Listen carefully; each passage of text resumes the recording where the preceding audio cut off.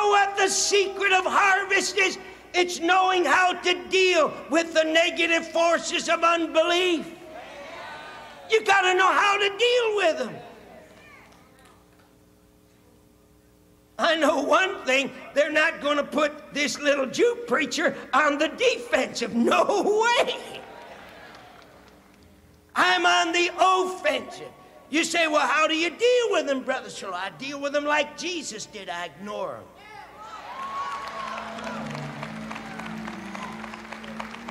You'll never hear me get up in the pulpit and waste one second of God's time criticizing any of my so called enemies. Let them alone. God will deal with them.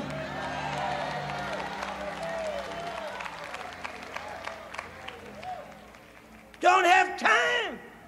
I got too much time killing the devil, slugging it out, kicking him here, chopping him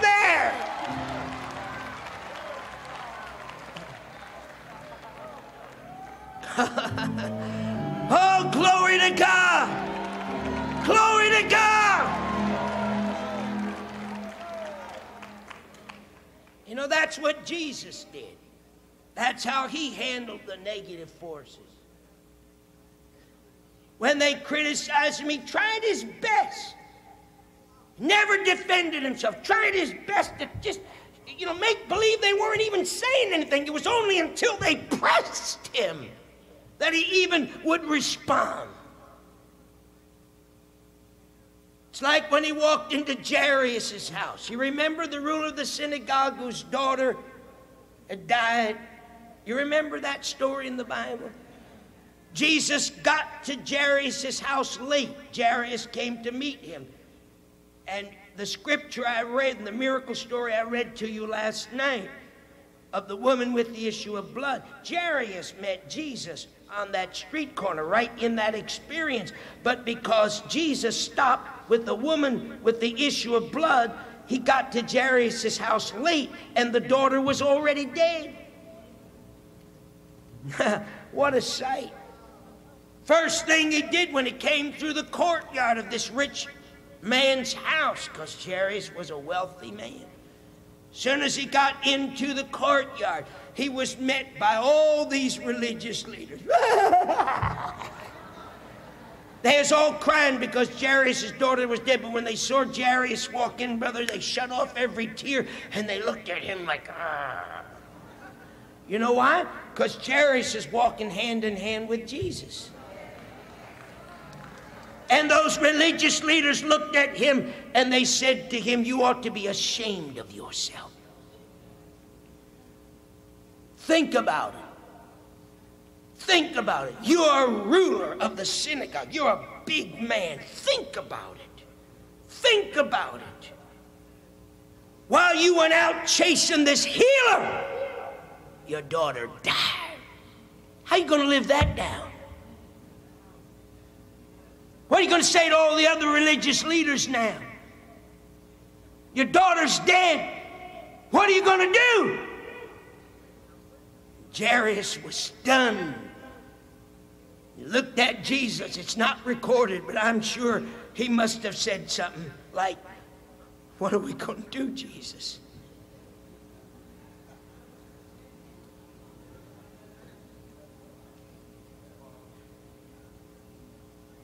Isn't it strange you don't find a word of dialogue between Jesus and these religious leaders? Not a word of dialogue. He never stopped to defend what happened. He never tried to justify the fact that he got there late. In their eyes, you know what he did? He just made believe and never even heard them. He turned his back on them. He put his hand in Jairus' hand and he whispered over his shoulder. He said, Jairus, remember what I told you back there? I said, I'll come and heal her. Let's go upstairs.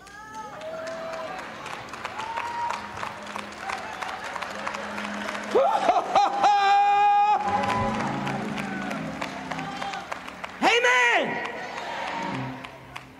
You know the story. You know how he raised this girl, how her spirit came back into her body.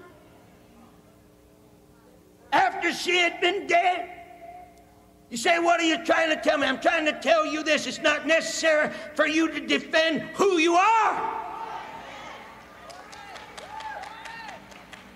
You're a son of the living God. Act like it.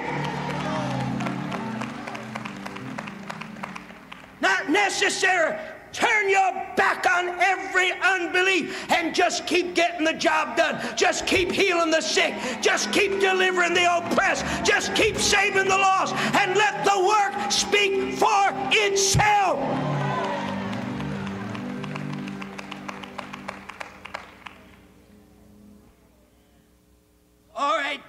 10:30, write it down. Put it in your spirit. even though the Jews didn't believe the claims concerning Jesus about himself, he knew who he was. He didn't try to defend himself. He didn't need any defense. And instead, he took the offense when they wouldn't believe what he said. And he told them in John 10 30, he said, I and the Father are one. Now, brother, let me tell you something. That made the devil mad. They picked up stones, the Bible says, and they stoned him. Why? Or they were going to stone him. Why? Because according to the law, the penalty for blasphemy was death by stoning and they accused Jesus of blasphemy. First, because he said he was the Son of God. Now, because he said he and God are one.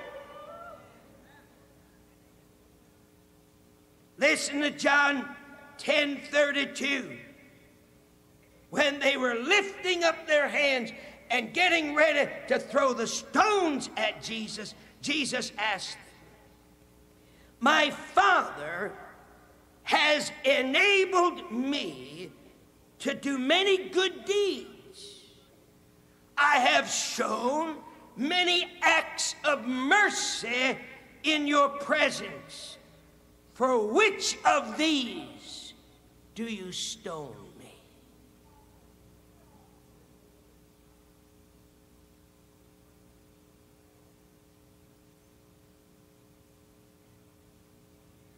Now, in spiritual warfare, you better not only know who you are, but you better know who your enemy is. And you better realize that even though people see the manifestation of God, if their heart and their spirit is set against God, it doesn't make any difference if you raise the dead. So stop trying to frustrate yourself.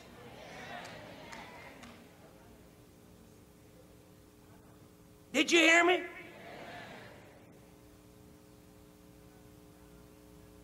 Your job is not to prove anything. But your job is to live with a life being manifested in you that will reveal the glory of God, the image of His Son, and when you walk through this world with that permeating through your being, you have fulfilled the purposes of God for your life. Let everything else alone. Don't let the devil intimidate you and frustrate you. He is a liar.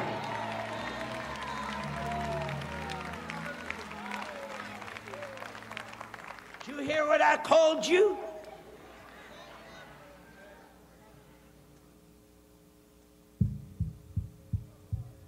Come say it with me. The devil's a liar. Say it like you believe it. Say it like you believe it. And let the whole world know it. John 10 33, listen to it. Listen to what Jesus continues to say in this experience. He said, We are not going, or they answered him, the religious leaders, after Jesus asked them what reason they were going to stone him. They answered him, We are not going to stone you for a good act, but for blasphemy, because you, a mere man, make yourself out to be God. Now, how do you deal with this supernatural revelation?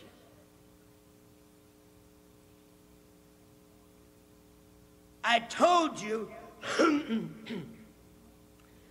when we opened the School of Ministry here in Toronto that your confusions were going to become the devil's confusions.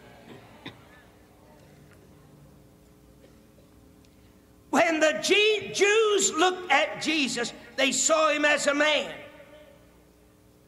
They saw him as the son of Joseph, the carpenter from Nazareth.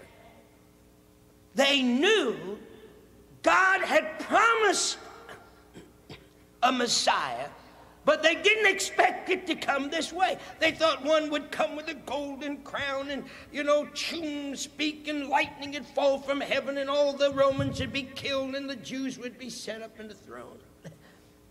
They never bothered to read their own scriptures.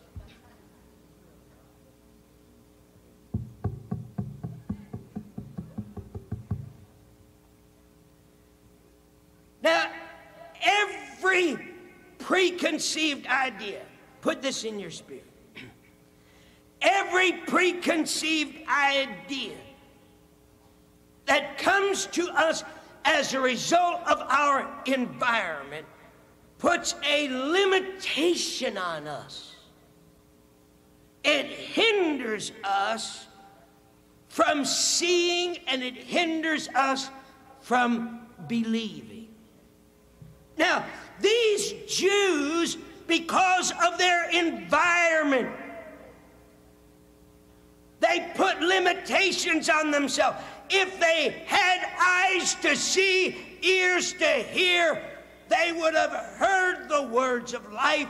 They would have drunk the living water. They would have eaten the living bread.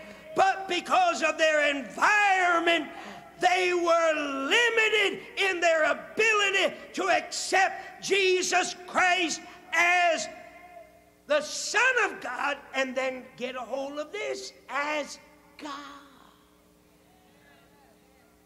Now, I know that's going to be awful heavy on you, but just tuck it into your spirit. I'll come grab it a little bit later on. Now, remember when I tell you to tuck something in there, don't do like you did to me 30 minutes ago. You didn't remember what I said about going, Jesus went into Satan's territory.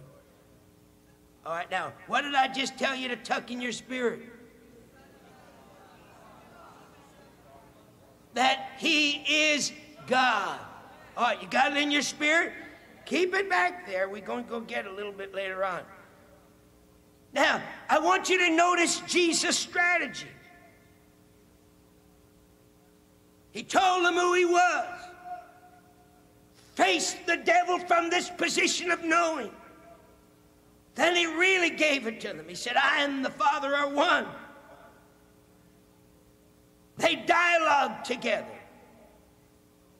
And they said to him, But brother, they didn't know it. He was leading them. Whew. Jesus was a master strategist. They said, we're not blaspheming you for the good works. We're blessed. We're gonna not stoning you for the good works. We're gonna stone you because you say you're a God. He said, Oh, is that right? He said, Didn't you ever read the 82nd Psalm? 82nd Psalm? Listen to what Jesus said, John 10 34 through 36. Jesus answered, Is it not written in your law? I said, Ye are gods.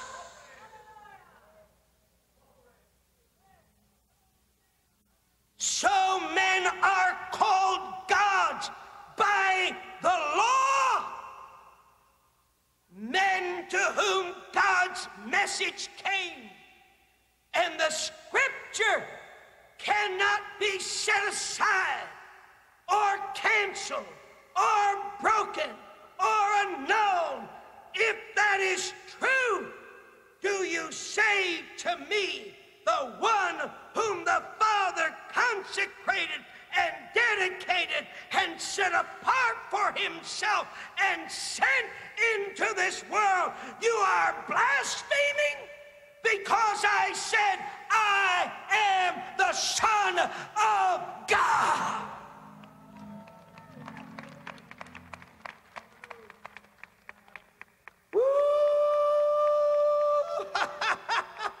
Come on, put your hands up and give him praise.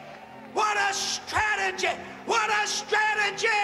Brother, it's no wonder when Jesus got through with the devil in the wilderness, he fled from him.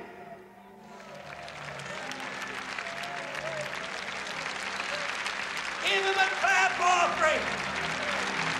Give him a clap offering.